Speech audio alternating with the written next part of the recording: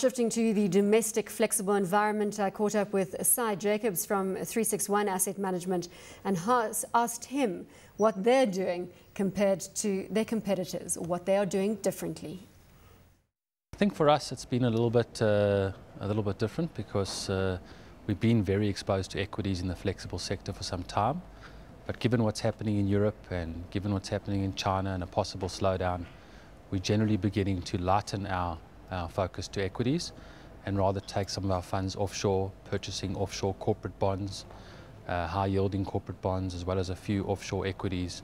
And how, locally, how are you responding to the local to the recent news flow? Obviously, that Greece could exit the eurozone. I think for us, it's about being defensive, and it's about being in sectors that are defensive, uh, non-commodity sectors, non-cyclical sectors, increasing our weighting to the likes of private healthcare, uh, to the likes of high cash yielding opportunities, companies with great balance sheets, low gearing, and again, as I said, a lot of offshore opportunities on lower ratings than South African. Do you think there'll be better offshore opportunities if we see further calamity unfolding from the Eurozone? I think there will be, because I think we've seen quite a disparate uh, rating between South African equities and offshore equities.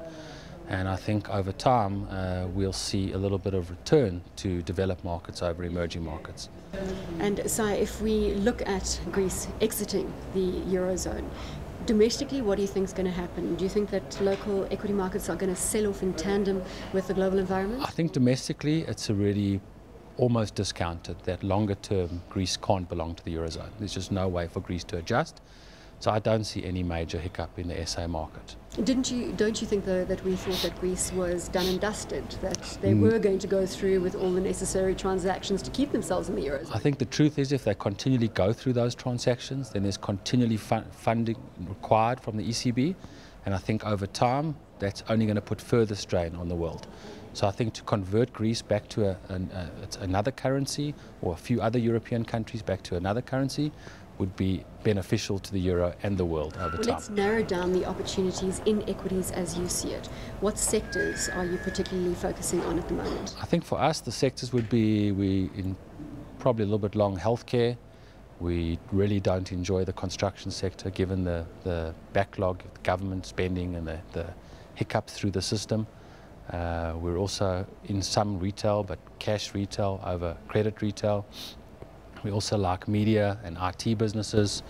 So you're uh, quite well diversified across the equity environment in South Africa. Is there anything that you're excluding?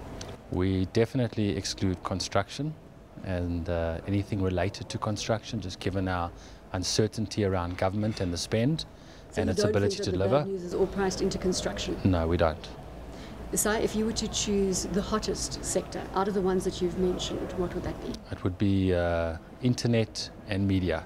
Best, and I think the, the reason is just the amount of spend going, going towards the global internet, their unbelievable presence in Africa, in pay TV in South Africa, and uh, the ability of management to really understand how the world is transforming uh, from an IT perspective.